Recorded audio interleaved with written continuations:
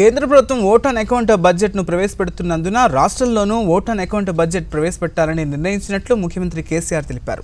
వచ్చే April May మాసాల్లో లోక్సభ ఎన్నికలు జరుగుతాయని ఆ తర్వాత పూర్తి స్థాయి బడ్జెట్ను ప్రవేశపెడతామని చెప్పారు. ప్రస్తుతం జరుగుతున్న గ్రామ పంచాయతీ ఎన్నికల్లో విజయం సాధించి విజయం సాధించిన సర్పంచులు ఉప సర్పంచులకు ఫిబ్రవరి మార్చ్ ఏప్రిల్ మే నెలల్లో పూర్తి స్థాయిలో శిక్షణ ఇవ్వాలని గ్రామాలను అద్భుతంగా తీర్చిదిద్దే విషయంలో వారికి సంపూర్ణ అవగాహన కల్పించాలని సీఎం అధికారులను ఆదేశించారు.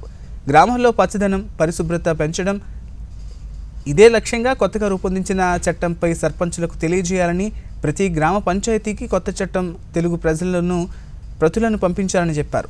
కొత్తగా నియామకమైన పంచాయతీ కార్యదర్శులు సర్పంచులు కలిసికట్టుగా పనిచేయడానికి అవసరమైన అవగాహన కల్పించాలని సర్పంచులు మూస పద్ధతిలో కాకుండా గ్రామాల సమగ్ర వికాసానికి పాటుపడే ఉద్యమకారులుగా మారాలని పేర్కొన్నారు.